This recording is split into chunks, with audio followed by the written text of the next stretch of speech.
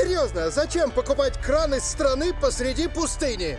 Так, я не знаю, что там собрался вешать, но это не выдержит точно. Я Гарри Фолкнер, и я ваш мастер на все руки.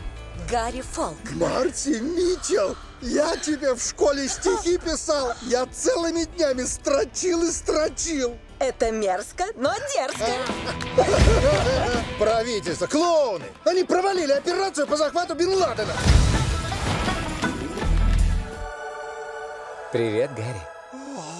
Да. Бог? У меня много имен, Гарри. У меня есть к тебе одна просьба, Гарри. Просьба.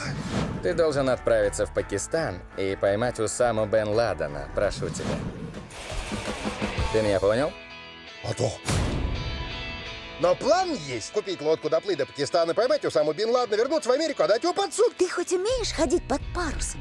Марси, если сидеть и думать, никогда ничего не сделается. А я все еще плыву.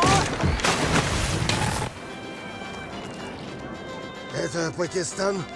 Ну, сеньор. Знаешь, что я теперь придумал? Я все поменяю. Полечу в Пакистан на дельтаплане. Но это же так опасно. Я еду в Пакистан, чтобы поймать Усаму Бен Ладена. Мне Господь Бог приказал. Я смогу незаметно просочиться туда, куда не попасть другим. Здравствуйте. Черт. Американский самурай, который носится по трущобам Исламабада.